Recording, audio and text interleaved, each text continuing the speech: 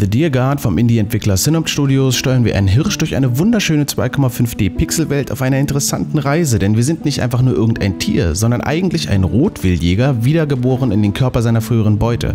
Das hintergründige Thema des Spiels ist also Reinkarnation und Karma. Vordergründig müssen wir aber erstmal den Trip überleben und das stellt uns vor einige Plattforming, aber auch Puzzleaufgaben. Es gibt eine zufällig generierte Welt, verschiedene Items, die meine Fähigkeiten verbessern und eigentlich auch Permadeath, aber eben nur eigentlich. Unser Hirsch wird im Laufe eines Spiels älter und hat er die Adoleszenz erreicht, kann man sich sehr jugendfrei mit anderen Hirschkühen paaren, Nachwuchs zeugen und so im Falle des eigenen Ablebens mit seinem Sprössling weiterspielen. Warum? Weil The Dear God auch eine Geschichte erzählen will, die über andere Tiere, aber auch über Quests vorangetrieben wird. Wo genau das hingeht, ist im Moment aber noch nicht zu sagen, denn hier kommt der Knackpunkt. Das Spiel hat im Juli erfolgreich seine Kickstarter-Kampagne beendet und ist nun im Early Access erschienen. Es sind noch nicht alle Features im Spiel, aber vor allen Dingen sind die, die da sind, oft nicht so einfach zugänglich.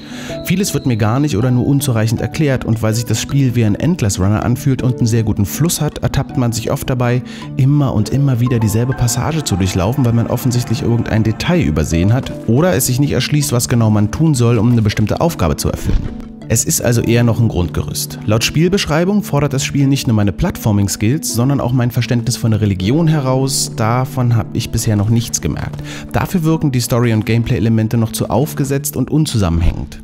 Also, lohnt sich The Dear God? Für 10 Euro bekommt man im Moment eine ganz interessante, vor allem aber schöne und stimmungsvolle Gameplay-Demo, mit der man sicher schon eine Menge Zeit verbringen kann. Allerdings würde ich jedem, der interessiert ist, empfehlen, auf die fertige Version zu warten. Das Spiel wird bestimmt mal eine extrem dichte Atmosphäre haben und viel davon leben, die Welt um sich herum zu entdecken und es macht einfach wenig Sinn, dieses Erlebnis mit der jetzigen Version zu spoilern. Wer es nicht erwarten kann, macht bei dem Preis sicher auch nichts falsch, sollte aber auf einige Frustmomente gefasst sein.